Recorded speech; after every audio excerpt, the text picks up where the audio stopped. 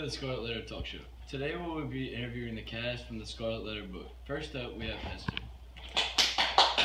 Well, it's nice to be here. Nice to meet you. It's nice to meet you, Austin. Thank you. Graham. Man, this dude is so good. Yeah, you know Italy out here. So Hester, what was your initial reaction when you found out that you had to go on the scaffold in front of the whole town to receive your punishment? well, I was pretty humiliated, being that everyone was so mean and harsh to me. It really hurt me.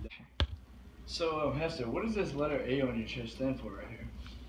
It stands for adultery, which is a sin that I committed. It is something that I have to live for, you know, for the rest of my life. I got you. So um, how did you react when the government told you that you could not keep your baby? It was a hard process and took a lot of convincing, but I talked them into it because she is my everything. That's why I named her Pearl. I got you. So um, how will you use this experience to help others?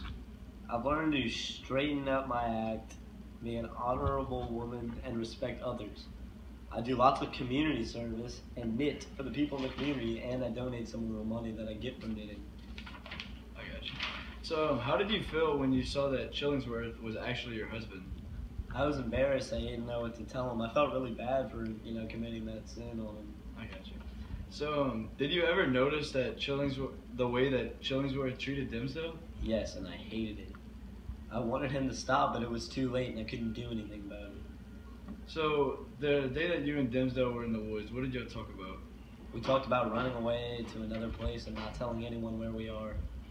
And what came? What made you come back to this small cottage and live alone after Chillingsworth had died? I had no one left. I wanted to be by myself, and I had to. I had no one saying harsh things about me, so I can live in peace. I got you. So, uh, last, all right. So, last question for today: How did it feel when you returned back to the back to the coll- cottage and lived alone, and you were respected now? It was something I haven't felt in a while, you know. Uh, I began to help younger kids with advice all the time because I could, like, I was really wise. That's it for today. And Thank that's you. a wrap. Thank you, Thank you for Austin coming. Miller. Thank you for having me. Let me just click this boy. So the next guest up on our talk show is Pearl, Hester's daughter.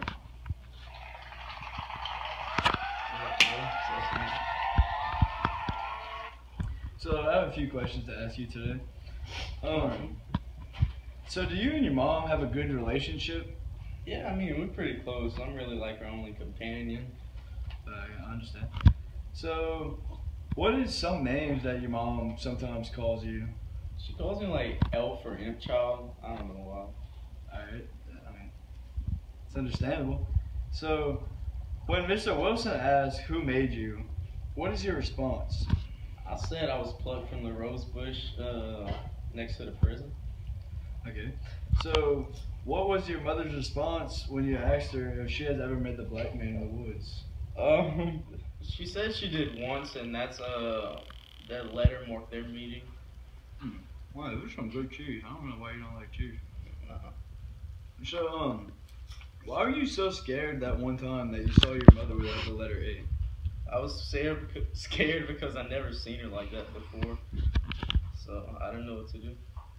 Alright, so last question for today. Um, what did you do after you left the cottage and didn't come back? Man, that Uh, cheese is spicy. No, it's not. Um, well, I, I basically just got married. Oh, married. Yeah, I got married. Found me a nice little husband. And then just settled down. It's understandable. Alright, well, nice to have you. Oh, you got some oranges. I didn't. Can I have one? I plucked them right out my bush. nice to meet you. Thanks for coming today.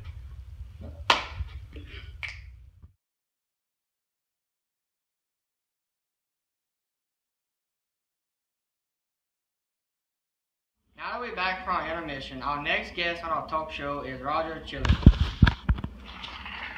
Alright, Roger, it's nice, nice to have you today. Alright, man. Today I'm gonna ask you a few questions. Alright. What made what made you come back in the skies, not as Hester's husband? Well, I wanted to know what my wife was really doing, and I don't think she'd tell me. You know, just coming here, not as this guy. So I got you. I did Alright. from everyone else. Alright, alright. What did you promise Hester you would do if she kept your identity a secret? Uh, I promised to find who she shared her sin with. I mean, I don't know. So, All right. Yeah, I, I, I understand. I understand. All right. What was your disguise whenever you came back? Uh, I came back disguised as a dumb. I want to be important in the world. All right. All right. You Felt left out Yeah. sometime? Yeah. All right. All right. My wife cheat. Oh. Ooh, yeah. I feel you. Who were you assigned to help in the in the community? Uh, I was assigned to help the pastor, uh, Mr. Dinsdale. You heard of him? Mm, Yeah, I heard a few times. Now, yeah. All right. When did you know Dimmesdale was the person who sinned with Hester? Um, well, we began talking about our guilt and sin, and he just got really upset when we were talking about ourselves. He he may, maybe the guy that was been. Got suspicious towards the land. Yeah. Kept talking. All right. All right. All right. Why did you tor- Why did you torture Dimmesdale? Well, um, I tried to get him to admit to his sin, but I thought that was the only way that he'd do it, so that's how I. He would admit to it straight up like a real man. No. No. All right. Gotcha. Worthless. All right. Why did you feel like you had no reason to live when Dimmesdale died? Um, I had no one left to torture, and you know, I just figured life was pointless at that point. I mean, I had no point. not being able to torture anybody, you know. So I think that's Alright. why. I mean, All right. That's about it. All right, Roger. All it was nice nice having you, you. buddy. Thank you. Thank you for coming. No, ma- no problem. All right. Our next and, and final guest on our talk show is Dimmesdale, the pastor. Yeah. All right. Yeah. How you doing today? Yeah, yeah, Nice to have you on my show today. Yes, sir. Thank you. All right. Today I'm gonna ask you a few little questions. All right. Mm-hmm. All right. How did you feel whenever you saw Hester on the scaffold? Uh, I was guilty, and I felt really bad. And really odd. All right. What made you fall fall sick? My guilt of my sin.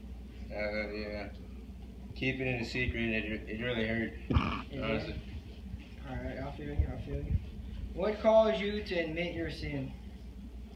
Chillingsworth kept pounding me with questions, and I mean, it finally came out of me. I got you. How did you feel after you admitted to your sin? I mean, I felt relieved and and no longer like sick.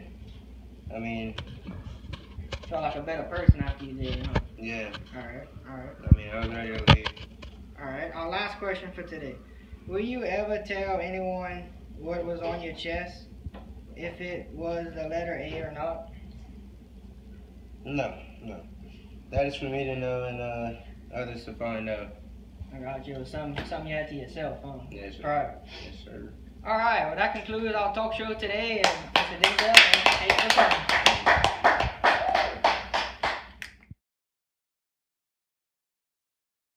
Should stand for. It stands for adultery was a sin that I committed. Uh, it is something that I have to live with for the rest of my life. It is something that I have to live with for the rest of my life. Why do you have that two times? We never gonna get this done.